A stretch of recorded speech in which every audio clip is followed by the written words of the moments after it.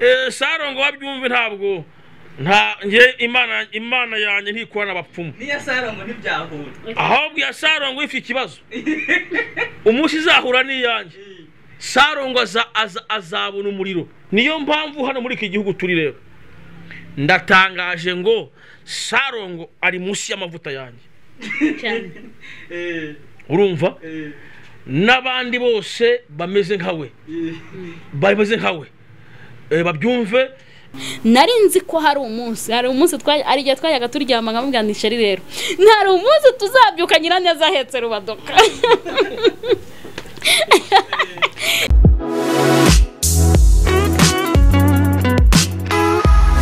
urumva yakora ikofi gute ihita igura imodoka. Ahubwo we ahubwo saba umugabo urimo imana uwo mugabo ni- ni- nimuguhereza. Niba iguhaye uwo mukire ni amahirwe kandi niba itanamuguhaye izabaha ubukire. Izi saha iyo mba naraririye amamodoka nkagenda mu rugo rurimo amamodoka ariko rudafite amahoro. Izi saha mba mfite agahinda. Iyo nyimwanga ngo nta modoka afite. Izi saha aba ari kuncaho ku muhanda njye mfite agahinda ariko umugore we bafite imodoka batuje kandi bananezerewe bafite umunezero. Icyo rero nyuma nyuma ahubwo y'ubwo buzima wawe ahubwo urimo urabona iki? Icyo urimo urabona niba urimo urabona icyiza ni amahirwe. Ariko niba uri kubona ikibi kirimo kiragushuka. Eh, ubwo rero nagize umugisha rero wo guhura n'uyu mugabo duhura ari umukozi w'imana. Nta kofi yari afite yari akennye pe. Eh, ni ukuvuga ngo yari atangiye kwiyubaka imana isa nkaho imufatira aho ngaho kuko umusore umajije kugera ku rwego ashobora kuba yakwiyambika inkweto eh, akagura ishati akagura ipantaro akagura matera na- radiyo mu nzu ni byo. Ubwo uwo musore aba yagiye. Aho ngaho rero imana yahise ihamufatira. Impuza nawe impuza nawe nje mu buryo bwo kugira ngo asengere. Nari nje mu buryo bwo kugira ngo asengere. Ariko nawe mbere mbere yo kugira ngo nawe mubone byarangoye. Namaze nk'iminsi nk'ibihe bine njya kumushaka nkamubura. Niyo mpamvu rero umuntu utuje kandi uciye bugufi igihe cyose imana imugirira neza. Nagiye kumushaka ubwa mbere ndamubura ubwa kabiri ndamubura ubwa gatatu ndamubura ubwa kane ni bwo namubonye. Nega moto nkagenda nkamubura nkongera nkitahira. Ariko nkavuga ni tu uriya mukozi w'imana agomba kunsengera. Yari akiri mutoya ari umusore ukiri mutoya ariko nkimara guhura nawe akimara kunsengera numva hari izindi mbaraga. Numva hari izindi mpinduka. Mbona hari ikindi kirere. Ndavuga ngo uyu, musore imana ingiriye neza yazaba umugabo wanjye. Hako mbivuga mu mutima nanabwira imana ni ubimuhishe n'umuhanuzi yahita abimenya ntubimuhishurire ariko ngize amahirwe nkabona umugabo nk'uyu nguyu. Uvuga imana gutya. Eh, buriya ushobora kwifuza rega ibyo byinshi rega ukabura na duke wari ufite. Benshi rero hari benshi basamiriye byinshi babura na, dukeya imana ariko bihera kandi bakatubonamo amahoro. Izi saha bakaba barimo bararira. Niba usanga bafite agahinda pasita nsengera ngize imyaka mirongo ine kandi nabenze abahungu aba n'aba n'aba ariko ngewe intumbero yanjye ntabwo ari iyo ngiyo. Uyu musore uyu- mupapa tumaze guhura aransengera eh, numva numva ni- ni we ariko we ntabwo byari birimo kuko umusore wamajije kwiyambika eh, amajije kwiyesitara noneho atakirara noneho mu bihuru nk'uko yabivuze asigaye noneho afite akageto akodesha. Noneho umuhanuzi abahanuzi icyo gihe bari bakunzwe ntabwo ari nk'ubu ngubu eh, aba- abantu bata- ba- ba- batangiye kubigera ku- ku- kubinetraliza. Abahanuzi icyo gihe bari bakunzwe. Ariko eh, navuga ngo nubwo we bitari bimurimwo ariko ngene nabishyize imbere y'imana icyo gihe. Ubwo rero amajije rero gutaha rero ni bwo rero haciyemo iminsi iminsi mike nongera kumusaba ko twakongera guhura. Tumajije guhura noneho njyewe noneho tugahura tugahura njyewe noneho icyifuzo mfite. Ari cy'uko imana yazanyuma umugabo nkawe. Ko nabonaga sayizi iyo nashakaga yariwe n'ikindi noneho imana yari yarampaye isezerano yuko izaba umugabo w'umukozi w'imana. Noneho umuga- u- uyu nguyu nta mafaranga yari afite mu bigaragara ntabwo yari umuhungu ushamaje. Ariko yari afite imana imwuzuye. Eh, imana ishimwe kandi n'ubu nshimira imana ko agenda kubisaziramo. Imana ikomeze imukomereze amaboko. Ubwo rero muri icyo gihe rero ni cyo gihe rero na- navuga rero imana yakoze ikora umurimo ukomeye cyane. Njye nifuza nimwifuza ariko imana irangije iranabisohoza Eh, ndabyibuka umunsi wenda wenda sinzi wenda ubwo buhamya wenda niba ari we wenda uri bubwivugire imana uburyo yagiye imubuza amahoro kugira ngo wenda nze kuza wenda eh, nze kuza wenda ku- kuba- ku- kuba fiyanse sinzi niba ari uri bubwivugire biza kuza kugera ku rwego ngewe tujya kumenyana noneho bi- bisesuye noneho biva noneho ku mukristo noneho yasengeraga. Noneho dutangira noneho gukundana. Dutangiye gukundana mbwiza ukuri. Arambwira uti dore ikofi yanjye akuramo. Aranyereka uti dore harimo ibihumbi bitatu. Nabyo ngiye kubiguramo ifi. Nkwakire. Nta yandi mafaranga imbere n'inyuma. Kandi nifuza ko dukora ubukwe kandi ukazaba nyina w'abana banjye tukubaka. Nawe ibibazo ibihumbi bitatu agiye no kukwakiramo. Arambwira uti sinzi kubitsa nta konti ngira nta banki nzi nta- data uzaguha nta na mama uzaguha. Ndetse iwacu si nina ahangaha ni icyangugu yewe n'ubwo bukwe mvuga sinzi n'abazabutaha. Arambwira uti niba unyemera unyemera uko ndi ngewe ni uko nguko ndi. Gusa ngewe mfite afata bibiriya arayinyereka. Arambwira uti dore ubutunzi bwanjye buri muri iyi bibiriya Ati, niba nawe ubyemera nawe ubyemere. Ndangije nta bindi nongeyeho narabwira uti ndabyemera. Murakoze. Ah, urakoze cyane. Pasite ndagira ngo tukugarukeho Ah, muri iyi minsi turebere hamwe abapasiteri ah, bakunze kuvugaho ibintu bitandukanye. Ah, hari abo muri iyi minsi turi kumva hari ibibazo twumva mu matora atandukanye wenda tureke kuyavugaho. Ariko nawe urabyumva. Ariko kandi hari n'abantu b'abapasiteri bivugwa ko usanga baca inyuma abagore babo Mm. usanga bateye abakristo inda hari abo tujya twumva mu bitangazamakuru hari abo twumvishije hano hakurya za kimironko aho hafi aho urumva harimo abantu bagenda banduza izina ry'ubupasiteri ugasanga umupasiteri eh, iki gihe mu rwanda hari abantu bagiye bamutakariza icyizere. Harakorwa iki kugira ngo icyizere cyanyu cyongere kigaruke muri bamwe? Ntabwo ari mwese ariko harimo abanduza iryo zina bwana munyamakuru urakoze kubaza ikintu kandi iyo umuntu akimbaje kuri cano ni umubaye cyane A- abapasiteri baributse benshi bashaka icyubahiro. Kukijera biranga. Niyo mpamvu bari kuziza ingaruka barakibahaye abanyarwanda babaha umugisha. Ah, njye njya mbwira abantu ngo iyo imana idafunguye inzira zo hanze. Nari kugwa hano. Eh, iyo idafunguye inzira zo hanze njye mu bihugu byo hanze.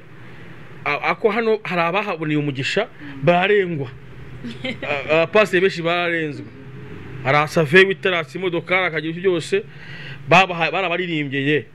Abagize abakirisitu ibihumbi bingahe abagize amamodokari abagize ama- ama- amafaranga. Ba- bagize icyubahiro cyane.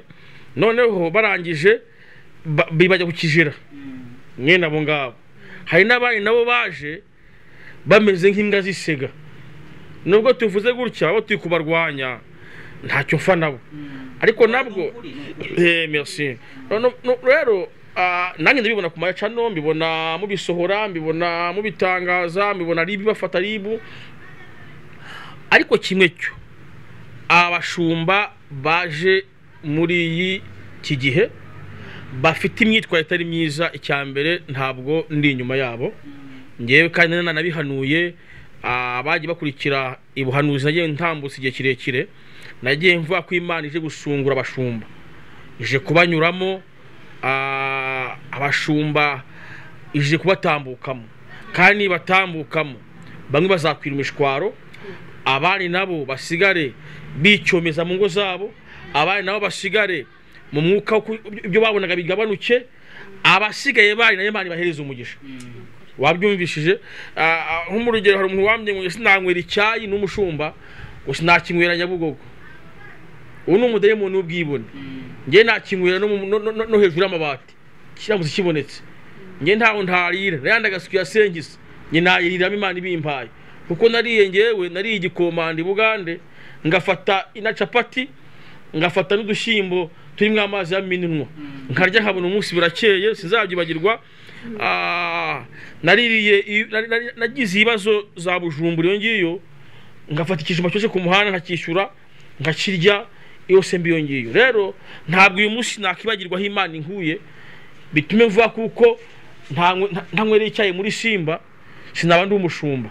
Sinaba ndi pasiteri. Rero icyo kintu cyo gutangira kohoka abagore ni umurengwe. Ngewe ntabwo nigeze ndengerwa ahangaha sinigeze mbarengerwa mvuge ngo ahangaha nabonye amafaranga baranturiye njye mbisubiramo hano. Mwajya gumpa igihumbi kimwe maze gukurikiza amagambo. Ahangaha njye mbibumva Eh, njye mbisubiyemo ahangaha Eh, urumva wagira ngo imana yarafunze imigisha y'abanyarwanda ngewe urabona sinzi imbo urumva bajya kumpa igihumbi nahanuraga numpaye igihumbi agasoza ati pasiteri pasiteri niko nari nshungiyeho igihumbi noneho bit- bituma nkabona bambaye neza nkabona afite amodokari meza nkabona bari kurya neza nkabona baconze ubwanwa neza nkabona muri za simba. Noneho reka rero uyu murengwe utangire ubagaruke rero. Urumva? Naho ngewe naragiye ndisiteraguringa ah, nzamuwe n'impano y'ibitangaza ninkijije. Buriya mu mpano zose. Nubwo muvuga ngo muhanure ngo baririmbe impano yo gukora ibitangaza ni impano ishaka kugirira neza. Nkimara kuyihabwa rero nayerekeje ah, ahaho ahaho ah, iyo ugiye gusengera umuntu hano iwacu mu gihugu cyacu hano azavuga ngo koko se biremera? Ahandi bati pasi ndabyizeye aho azavuga ngo koko biremera?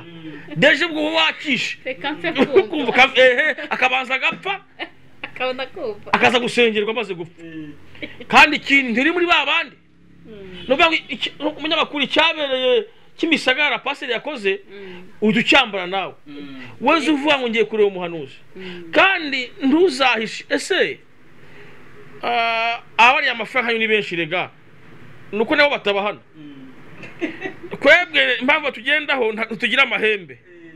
Ntitugira pirizo niyo mpamvu uguhaye sengisa agenda aririmba ngo agukijije wumvishe pasiteri yantuburiye yantuburiye yantuburiye. Wumvishije ariko uzareba abapfumu sinjya muri babafungira nani yabo nani yabo? Reka reka reka.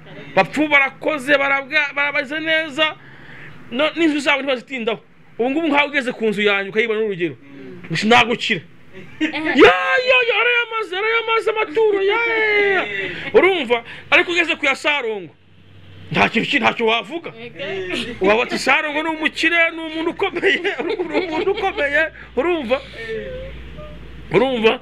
Sarongo ni umuntu ukomeye namubonye dore inzu ikomeye dore imodokari ya ya dore imodokari.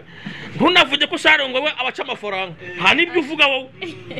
Sarongo ntiwamubona mu jisho ryiwe. Byibuze fagitire ibiri hariya noneho ngewe kandi sarongo ntakoreshwa n'imana. Akoreshwa n'amadayimoni. Noneho nge guhamagara abantu bapfuye. Agahamagara imyuka mibi ngiye uhamagara izina ry'uwiteka imana ihoraho. Urumva? Wabona akazu kanjye? Arayamaze amaturo amaturo. Kuki ejo we nafata abantu barenga ibihumbi bibiri? Nkabasengesha nkabahanurira nkabigisha ubutumwa bwiza nkabakusha kirisito none ubundi ngiye kubaza ubundi. Leta zose zigisha iki? Si ubwumvikane? Si si uku- kureka ibyaha? None ngewe nanjye habayeho umushahara? Nanjye bawungenera kuko mvuga nk'ibyo abandi bose bavuga. Minisitiri sindabwira umuntu ngo genda ufate mugenzi wawe umunige. Sindatoza kugira ngo abantu bangane. Njye n'abantu bangane numva nabahuza. Wabyumva? Njye sindobanura porofete umuhanuzi yaba ari umugande yaba ari umuzungu umunyakenya abanyafurika bose unkeneye ngeraho mu gihe gikwiriye. Nkamubwira icyo gikwiriye ni nk'umunyamakuru nawe mwiza ntarobanura Eh, umunyamakuru mwiza hose arahagera. Abakomeye aboroheje nta munyamakuru urobanura nawe ndabizi umunyamakuru rero. Rero none kuki umunyamakuru mu- ahagarara akavuga ngo pasiteri impamvu aconze ubwanwa.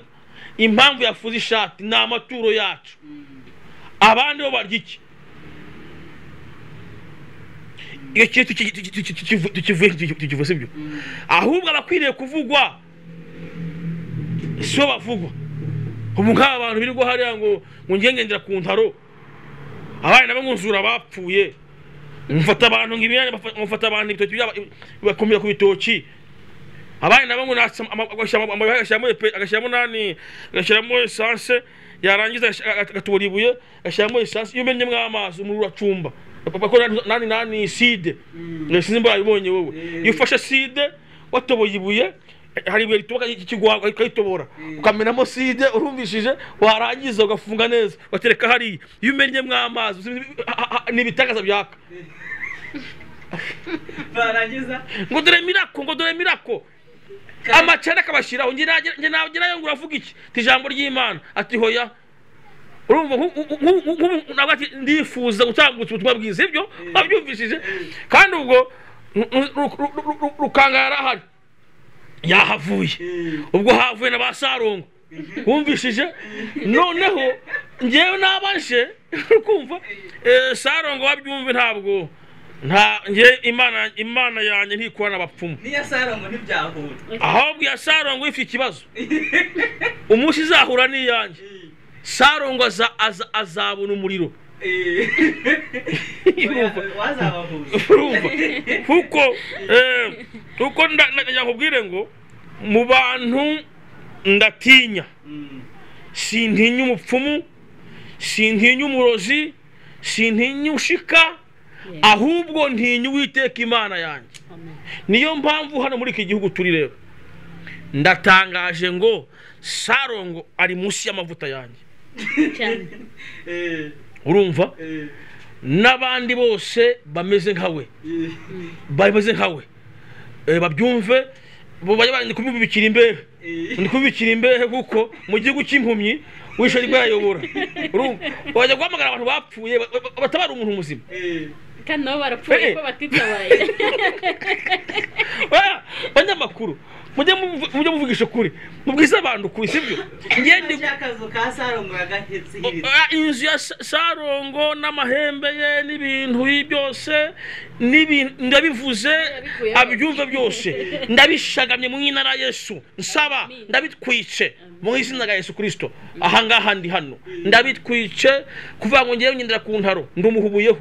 Mu izina rya yesu. Ahubwo mweje mu nzu y'imana. Ahubwo ndifuza ngewe aze mu cace yanjye. Muhindure pasiteri. Ahari ni ho yaza asengera abantu benshi kurusha ngaho wabyumvishije? Niba afite n'ubwo ko nta kintu azabona kijyanye n'amafaranga nzatoza abakisi bature abeho. Yitirirwa izina ry'iki? Ry'imana. Ndababaye niyo umuntu uri kumbaza cyane yakumbaza cyane hano. Urumva? Ndetse n'abandi bagenzi be bose iyo gurupe yose ikora imirimo nk'iyo uh, burya ariko ngiye kubaza. Uzi ko nahishuriwe? Nakwiye kukivugaho. Imikorere y'umwanzi. Mfite igitabo ngiye gusohora. Amazi nabonye ngewe akora, ak- akora foreign. Ashyira abantu ku amadayimoni ku murongo. Arabwira ngo wowe ushinzwe iki?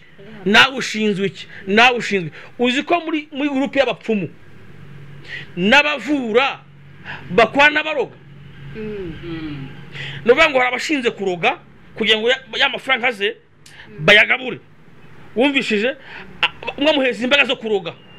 Bafite aho bahurira kwa satani nabyeretswe noneho ba bandi bashinzwe kurogora bakabasanga bakarogora ya mafaranga bakazayagabura ni nk'ishyirahamwe. Abapfu baroga n'abapfu barogora. Ah, noneho rero ah, urabona kuko uranyura ku muntu ngo pasiteri ni umuki ni abatekamitwe ni ba bandi badafite gahunda. Wabyumvishije? Aho ugasanga basimbutse umupfumu ahubwo udafite gahunda nyirizina rero uriya mugabo rero ntabwo ndamukunda ariko mwifuriza ko yazabona imana. Nta kindi mwifuriza urabona ko simpangana nako ntabwo ndi guhangana nawe ntabwo umucyo n'umwijima bihangana. Ahubwo ndi kumva yazagira ukuntu nigeze kuba yakora ikiganiro umunsi umwe ari kuririmba cyane indirimbo zihimbaza imana ariko imana la fasido haje abantu baje gushima noneho sinzi ibyo bari baje gushima simbizi numva nimba ari imana fata amafaranga bayajyana umva umuntu navanye imbaraga navanye imbaraga muri Nigeria nzivana hehe ugiye gushimira ndi munyamakuru buriya tubishwe amafaranga urayajyanye yawe ugiye gushima si imana kweretse ugiye gushimira ndi ni wowe ubona ni ni wowe yakweretse Mm. ntabwo muraza kugirana ikibazo se n'uyu mugabo cyangwa izi mbaraga zabo ntabwo zo zikora ntabwo uriya mugabo kagira ikibazo kuri uriya mugabo ni umuntu nyine uri aha mu gihugu ushakisha ibirayi ariko ntabwo ari umuntu wankanga reka reka reka reka Uriya ntabwo ari umuntu wankanga keretse nimba keretse nimba yaba yaba afite ibindi bi atari imbaraga akoresha z'irani. Keretse afite imbaraga zo kudakunda asa nkaba nabwo imana yakinga iryo sasu. Mm. ariko ngewe icyo umwifurije ni uko azahurira mu ijuru. Kuko urumva ku- ku- kugira ngo hari umuntu zamusenge ngo yamuhaye amadolari ibihumbi bibiri by'idolari. Urukumva? Noneho umudamu ati none se abakozi imana bahaye iki? Ngo reka reka ngo nabo minsi y'imperuka. None se kuki utabahaye kuko bagufashaga? Ati hoya nahaye nde? Saro ngo ni we wambye ngo bigiye gucamo. None se kuki ujeho byaciyemo ati hoya ati ahubwo byanze gucamo. Wabyumvishije ndamubwira ati ngewe uriya mugabo rero ntabwo namuzi ariko ndamukunda kugira ngo se tuzabahurire mu ijuru. Afite iyo ahagaze yambaye ikoti ameze nk'umushumba mwiza. Iyo ahagaze ari kuririmba ni nk'umuririmbyi mwiza. Iyo ahagaze ari kugira ngo afite n'ingabire zitari n'igisambo ashaka kwiba ingabire zawe. Akaba ufite ingabire yo guhanura gusengera abantu agahita yiba kubera kuzuba agera mu yindi nzira. Nk'ubu nkanjye ushobora gusanga nk'umugero nanjye iyo ndakizwa ndi kubona n'umupfumu karabutaka. Ariko kubera imana itigeze ko banyiba ingabire izangarutse zajeho banashaka gukizwa nawe ziriya ngabire ziwe. Zigakura mu w'imana zikazamura abantu. Niko bimeze ko izi ngizi zarazibye kaziziburire mu ivugabutumwa. Numva rero dutamba- dutangira urugendo rwacu twembi nawe. Naje kurangira yasiga inkweto tuzamuka imisozi twembi nawe tujya kubwira inkuru nziza sizimba zabishobora ariko ashaka kuzabishobora mugabo kuko na na na na na kuko kwimana kumuriho niyo mpamvu se dufite benshi cyane nibanzeho cyane no suka afite izina nta zina afite hoya ni umuntu nkanjye usanzwe ariko nyine kuba umuntu yumva ko ya ya ya ya yasinya akajya mu mwuka ni byiza Yeah. pasite hari ikindi ntugarukaho ngo tuganire urabona muri iyi minsi hari abahanuzi cyangwa se Mm. Eh, cyane cyane dukunze kumva ibibazo n'ubundi nk'ibyo ngibyo nabo basa nk'aho bagiye mu gushaka amafaranga bakoresheje iyo mpano bikaba na- byanatuma umuntu anavangirwa kubera uko gushaka izo ndonye. Eh, hari abo tujya twumva nk'urugero wenda umuntu yatanga hari nka- nk- nk'umugore umaze iminsi uri kuvurwa witwa mama sharirene Mhm. ashwana n'umu- n'umugabo we ugakumva aciye hirya nawe ati ni ibi n'ibi Mm. mu busesenguzi cyangwa ubucukumbuzi turi no gukora ku mubavu ni uko turi Mm. gucukumbura ngo turebe isano bifitanye no gushaka amafaranga Mm. kuko iyo urebye ubona bose ari umugabo ari umugore bose binjiye muri bizinesi yo gucuruza ibyo bintu Mm. dufite amakuru y'abantu babaha amafaranga kugira ngo bavuge biriya bintu umuntu akibaza ntabwo bitesha agaciro uyu mwuga nanjye ngo reka ne kuwita umwuga iyi mpano y'imana yo guhanura bikaba byatuma abantu batayizera batanayigirira icyizere cyangwa banakumva bavuze turi umuhanuzi bakavuga bati ha! Ni ba bantu ni ba bandi. Ni ba bandi barashakamo indoro. Ni mu mashayirene n'umugabo we nshaka kubivugaho cyane. Mm, nabivuzeho narabasengeye mm, ariko sinzi imitima yabo sinyizi. Ariko kimwe cyo bari bafite minisiteri bakoreramo yabo n'uzabahemba ntabwo ngiye mpemba mm, nagerageje kuganira n'umugabo ngewe nganira n'umudamu umudamu yakumva umwanya ariko umugabo twaraganiriye umugabo. Mm, kuko numvaga ari- ikintu ni ni abantu bafite icyubahiro mu gihugu hano. Umwe ni umuvugabutumwa n'umugabo ni umuvugabutumwa yanakoreye n'igihugu umugabo umva ni abantu bakwiye kuba ba- batwereka ibintu bizima. Mm, urumva? Kuko kwigishijwe kubigisha ko umuntu ah, agomba guhagarara ahantu akereka abantu ibintu bizima. Rero ntabwo nkibavugaho cyane. Bwana munyamakuru isigaye mbona ari ibintu byatuma bizana amazimwe kuko iyo ubwiye umuntu ngo dore inzira ngiyi ugasanga we akubwira ngo ugiye kumu- umu- umushakaho iki? Icyo mushakaho azakibona. Mm, urakumva? Namushaka kujya mu ijuru no kugira ngo ibyo avuga bise n'ibyo akora. Mm. imana ishimwe cyane. Rero ntabwo nkimuvugaho uriya mama ahubwo noneho namuhaye imana igiye kuzareba ukuntu imwitunganyiriza Mm. nuko bimeze I- icyo mvuga ni Mm. ubutumwa n'ubundi sinshaka ko tunabagarukaho Mm. ni urugero nguhaye Mm. rwa bamwe mu bantu b'abakozi b'imana bavuga ko ari abahanuzi bavuga ko ari abakozi b'imana Mm. rimwe na rimwe bakanasobekeranya mu mvugo nyine bakoresheje Mm. hari nk'umugeni yize nanjye ubwo kumuhamagara Mm. mu interiviyu ati sinaba naravuze imana ngo njye kuvuga umugabo wanjye ariko mu Mm. by'ukuri noneho ni byo yadukanye hari ibiganiro byinshi ari kwadukamo avuga ati agenda yisobanura kuri bya bintu noneho nashaka kugira ngo byibuze Mm. tunabivugeho turebe Mm. kuko burya hari igihe rimwe na rimwe ntabwo abanyamakuru tuba tugamije no gutangaza inkuru cyane no Eh, eh, gukora. ni byo, ni byo. ariko Mm. ugasanga umuntu arihanukiriye avuze ibindi bintu Mm. bitari byo ntabwo nshaka kugira ngo tubavugeho noneho ngiye kangaruke rero bari abantu mesaje itambutse uriya mu mama mesaje itambutsa y'ubutumwa bwiza mm, ah, bw'imana ikeneye no gukurikizwa n'ibindi mirimo. Mm, iyo mirimo nta yindi ariko twamaze kumenya ko gahunda yayirangije byo. Mm,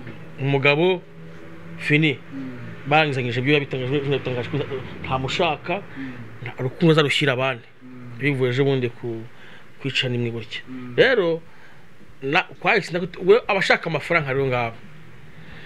Nta muryango utabura ikigoryi mm, iyo hari original hagomba kuba na pirate. Isi yose ngikoze.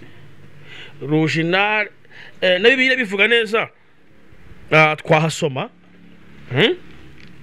utiri kw'abo bantu eh, isashimwe cyane. Ah, turi hano abana bagiye umunsi umwe igenda babwiriza ubutumwa bwiza yesu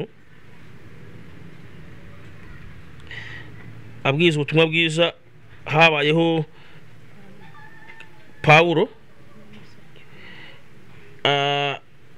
katu turahareba isashimwe cyane. Pawulo yagiye abwiriza ubutumwa bwiza. Urumva? Noneho abantu barihana amadayimoni abavamo. Ngo haza kuboneka bene se cyuwa barindwi iyo vesi imwe aho ngaho. Bareba ibyo bagenda bakora twariye. Ti burya iyo umuntu avuze yesu akajya bujumbura baramwemera. Iyo umuntu avuze yesu akajya muri amerika baramwemera. Noneho tugiye kwihimbira twebwe. Kuvuga izina rya yesu ku batewe na dayimoni imana ishimwe cyane.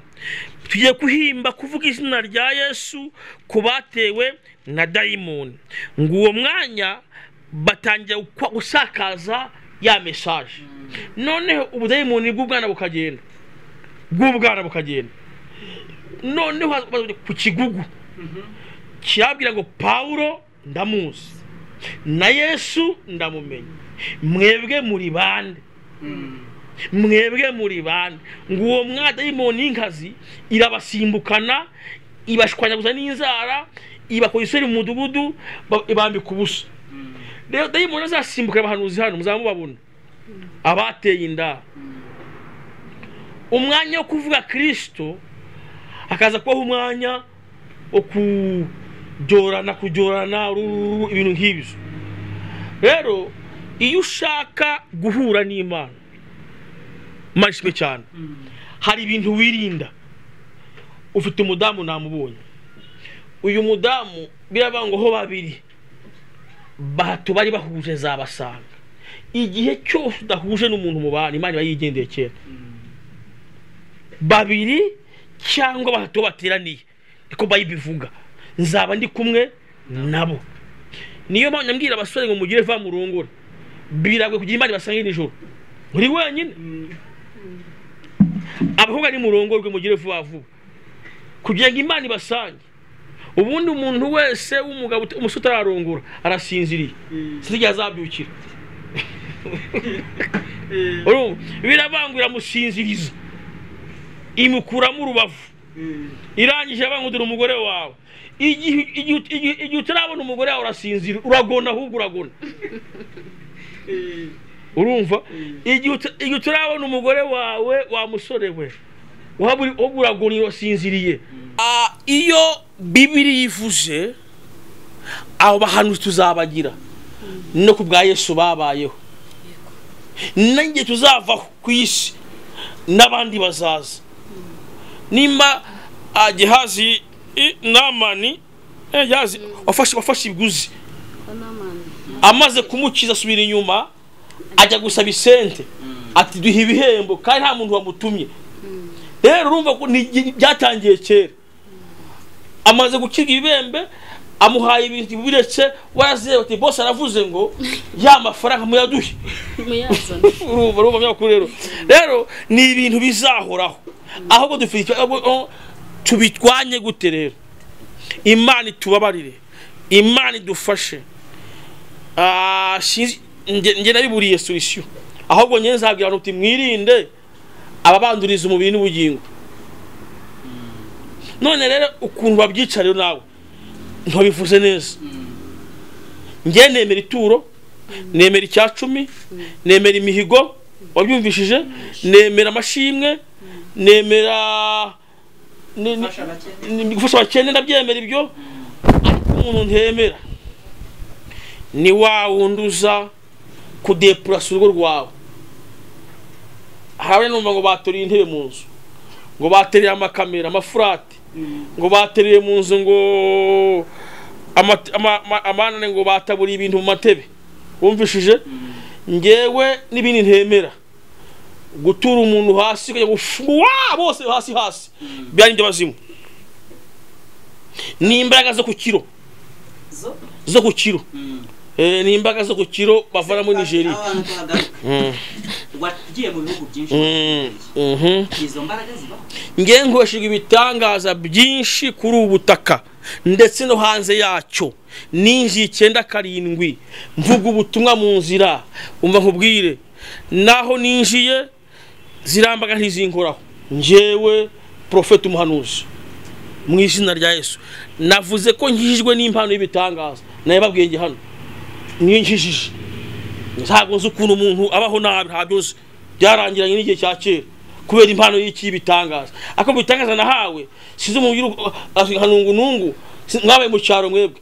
Nungunungu iwanyu mwese bose bose bakitura hasi abagabo bose bagahebeba bakinyerahura urumva.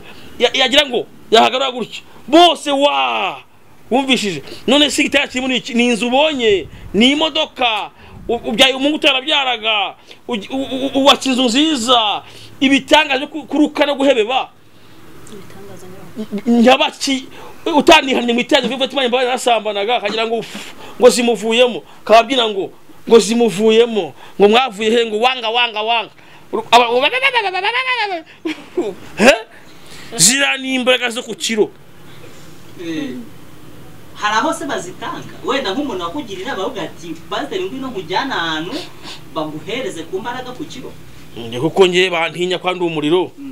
Ntibambwira n'ubusa. Eh, yagiye mpishurirwa pasi bageze ku icumi bafite izo mbaraga zabatanga zigiye zamakamera n'abahishuriwe. Eh, bamwe nabashyiriye mesaje zabo imana yabirukanye mu rwanda bamwe na bamwe.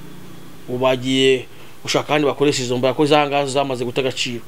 Urumva bageze ku icumi mfite nge muri ajenda imana yambishuriye irambwira ngo aba ngaba bakorana n'imbaraga zo ku kiro. Eh, hari aho bazikura bazigurira bazibibona nimba we- wemera ko imana ibaho? Na shitani abaho gusa umuntu urya inzeme ntujya umubona. Nose ambaye zikura he? Aho akwiye kurya inzembe? Niyo yarangiye pasiteri ugira ngo urumva? Uko uriya mugabo arya inzembe? Ntabwo abivukanye. Uko uriya muntu bafata bagashyira mu isanduku hariya bagafata umupanga bagatema. Urukumva uko uriya muntu yihindura agahebe byose babyumva wowe. Uko uriya muntu ahamagara inzoka bamubonye kuri ya tv hariya akayifata inzoka akina na yo. Izo bose pasi ntiyazibona zi- zi- zihamagara izo nzoka nyine kugira ngo ni mi- ni mirako. Rero ko ngewe mvutse nkoreshwa n'imana mbonye abantu babyara mbisubiremo mbonye abakiri ibisazi mbonye abantu buzura umwuka wera mbonye abantu benshi imana ibageraho ariko ngewe sinzi nimba yazimbishe kugira ngo musuragure munitume mu rusengero ngo ngo dore ikindi gitangaza ngo dore ikindi ngo dore ikindi kandi ubwo waje wisonzeye wabuze n'akawunga niko imana njya kuruka ubusa hariya mfite imyaka inyemerera guhanura iri hejuru y'imyaka mirongo itatu na maze kuba umuprofeti ukomeye singira umuntu w'umwana mfite umwana mukuru w'umusore ntabwo ngira umuntu uvuga ngo ndavugishwa zirambaraga mbisubiremo ni zimwe zigurwa ku kiro kuko m- ntabwo itangaza ari uko uyu mudamu yituye hasi aka- agahebeba. None nzi hano nzi kubasengera sibyo uko hambwira ngo bababa n'igitangaza cyabo umwe ati pasi nakodeshaga. Ndi gushaka ko kwimana kungereho. Imana impereze. Ndabwira abantu ngo mfite ibitangaza by'imana. Hari ibihamya binyemera. Kuntura hasi nta muntu nta muntu urantura hasi. Kuko ntiyanabishobora? Ntiyanabigerageza. Wabyumvishije? Ariko niyo mvuga ngo nari umuntu ubabaye. Nkaba mfite inzu yanjye nziza uzansuza uzayibona nkaba mfite imodoka mfite abana banjye biga. Nkaba mbasha kwigurira ipantaro nkayambara. Icyo si igitangaza? Eh, umunyamakuru si cyo none nja gusenga ati imana irambye ngo uzabona televiziyo ukayibona si igitangaza? Nose guheba no kuri ukambwira ari iki? Kimbwira ntacyo gusa agenda umunyamakuru sawa ubwo urumva ko ubu reka abanyamakuru tugaruka kuri mama pasiteri hanyuma tuganire nawe atubwire ingaruka byagize byo kuba yarabonye umugabo.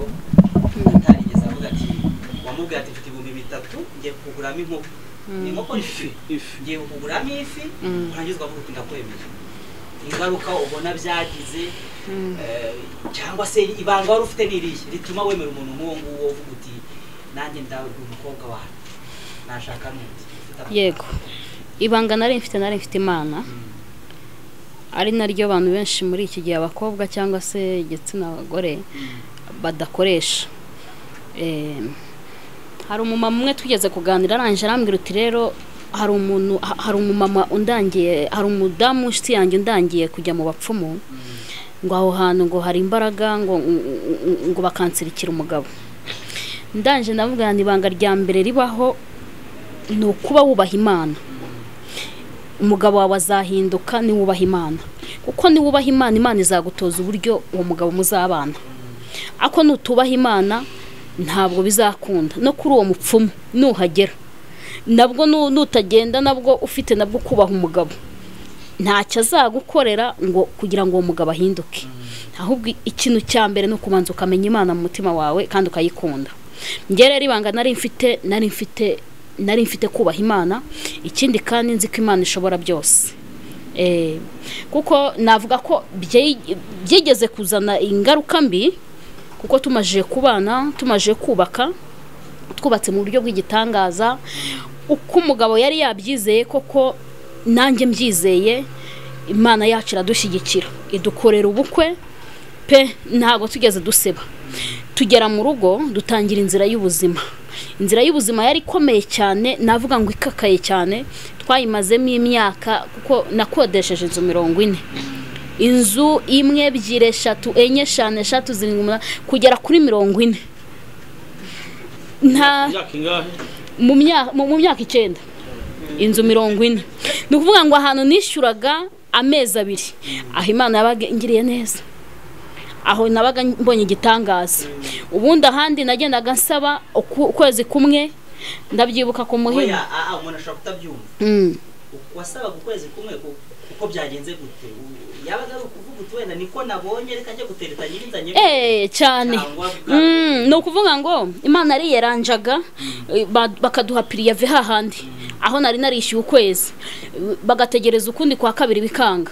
Noneho nkagira nya imana ikiyeranje ikaba inkubise ukwezi kumwe. Nkagenda tukagenda turi babiri twenda tugasaba nka nyir'inzu uti tubabarire ubu duhaye inzu tukwishyura ukwezi kumwe uti ubundi nyuma tuzakwishyura nk'atatu akurikiranye akamara kuyiduhereza. Yayiduhereza ubwo bikaba birangiriye aho ngaho. Nawe agapanga ukuntu nawe aduhereza nawe piriyave ukuntu nawe turi buhave. Nta hantu nigeze nishyura inzu amezi abiri.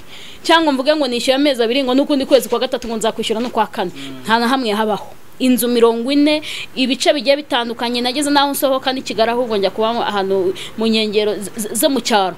Iyo ngiyo ndenga za kabuga ndagenda aho bita ku muyumbo ndagenda ahantu mu byaro hataba n'umuriro. Ariko aho hose nahajyanye n'imana yanjye iragahora ku ngoma. Imana yanjye twari turi kumwe aho ngaho nkakomeza nkayishima kandi nkayubaha. Kuko nari nzi yuko nyuma yo kubabara hajya habaho guseka. Ntushobora guhozwa amarira utayarize. Ntushobora kurya utarigeze usonza. Ntushobora kubona umunezero utarigeze uwura nari nzi ko hari umunsi hari umunsi hari igihe twajyaga turyama nkamubwira ngo isheri rero. Hari umunsi tuzabyuka nyiraneza ahetse rubaduka nyiraneza ahetse rubaduka yabaga ari ya note ya kera yabaga iriho umubyeyi uhetse umwana. Nkabwana hari umunsi tuzabyuka nyiraneza ahetse rubaduka agaseka agatembagara akambwira ngo kabisa. Ngo ariko uwo munsi noneho sinzi ahantu tuzarira. Nkamubwira ntibizakunda tu.